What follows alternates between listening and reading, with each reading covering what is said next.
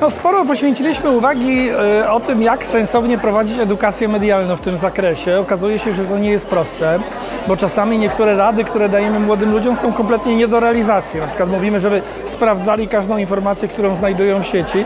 Gdyby chcieli to robić, no to nie, nie starczyłoby już im czasu na nic innego i podejrzewam, że i tak by zabrakło im tego czasu, żeby to sprawdzić. Więc mówiliśmy sporo o tym, żeby zidentyfikować, czyli żeby młodzi ludzie sami identyfikowali te informacje, które budzą szczególne emocje, mocne, które z kolei emocje sprawiają to, że łatwiej jest przyjąć nieprawdę, czyli żeby byli umieli rozpoznać rodzaj takiej czerwonej ostrzegaczej flagi w przypadku niektórych informacji i wiedzieli, że to jest właśnie ta informacja, czy ten rodzaj informacji, ten rodzaj komunikatu, który może wymaga od nas szczególnej czujności, szczególnego takiego zatrzymania się i takiego pogłębionej analizy tego, z czym mamy do czynienia, czy należy temu wierzyć, żeby to sprawdzić.